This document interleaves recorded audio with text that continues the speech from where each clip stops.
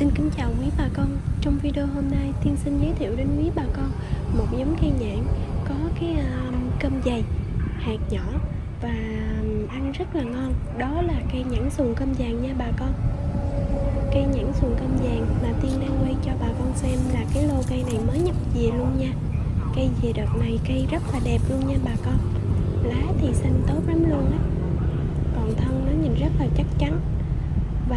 Nhãn sùng cơm vàng mà Tiên đang quay cho bà con xem. Cây này là cây ghép nha bà con. Và thời gian cho trái của nó sau khoảng 2 năm trồng nha.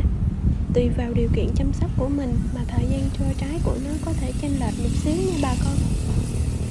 Và cây nhãn xuồng cơm vàng này là một trong những giống cây ăn quả có khả năng thích nghi trên nhiều loại đất khác nhau. À, kể cả đất nhiễm mặn mà tương đối nhẹ thì cũng trồng được nha bà con và để biết thêm chi tiết về giống cây nhãn xuồng cơm vàng này cũng như là những giống cây ăn quả khác, quý bà con hãy gọi về số điện thoại là 034 34 34 651 để được tư vấn nha bà con.